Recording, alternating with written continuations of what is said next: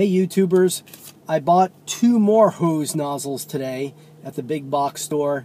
Uh, these are all metal construction, uh, an old-fashioned style. Hopefully it's old-fashioned quality um, and not like modern day El Cheapo quality that has simulation of being good quality. Uh, I hope it really is a good quality. Anyway, um, I I looked at this for a while in the store, uh, tested out the adjustment um, knob here for the uh, for the water flow, and uh, it seems to be constructed really well. I don't see any plastic pieces on here, just the rubber washer on the bottom, uh, but it actually does seem to be all metal construction. Um, they are calling it a classic. You see that classic metal pistol nozzle. So that's what this is. Uh, the other thing that caught my attention is on the end here, uh, it's actually threaded that you can put a hose on there. You know, I don't know why you would.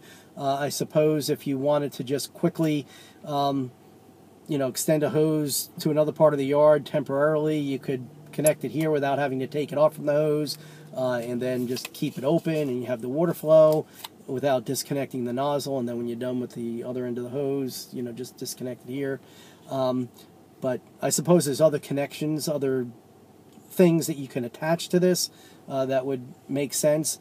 But uh, I thought that was kind of cool. I, you know, I don't have a nozzle that has that threaded part on there. Now I'm curious what kinds of products are available that would go on the end of that that would be useful in a practical way, or if it's just there to just put a hose extension on there, which, like I said, doesn't really make a whole lot of sense if you know, to have the nozzle in between two hoses that you're not really using. So um, anyway, just wanted to let you know I bought two of these.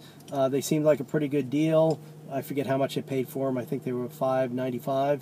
So um, seemed like it was well worth the try.